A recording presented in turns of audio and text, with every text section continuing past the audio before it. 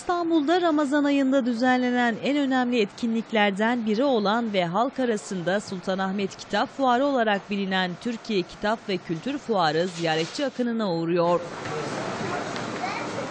Bu yıl 32.si düzenlenen fuarda 150'ye aşkın yayın evi kitaplarını okurların beğenisine sunuyor. Fuarımız zaten eee, dini yayınlar fuarı olarak eee, Ramazan ayı içerisinde düzenlenir E, ve okuyucular da eee, bu fuarı her yıl takip ederler. Müdavimleri vardır.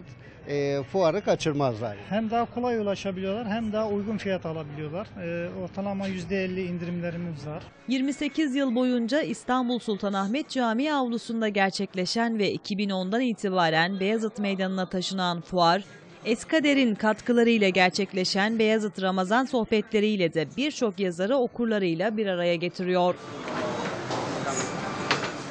Fuara okurlar da büyük ilgi gösteriyor.